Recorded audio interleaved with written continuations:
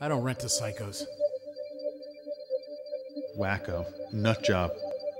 I can't work with him. He's a lunatic. Stay away from her. She's crazy. Maniac. People with mental illness get called a lot of mean names. Considering one out of five Americans experience some form of mental illness, we might have some more appropriate names to suggest.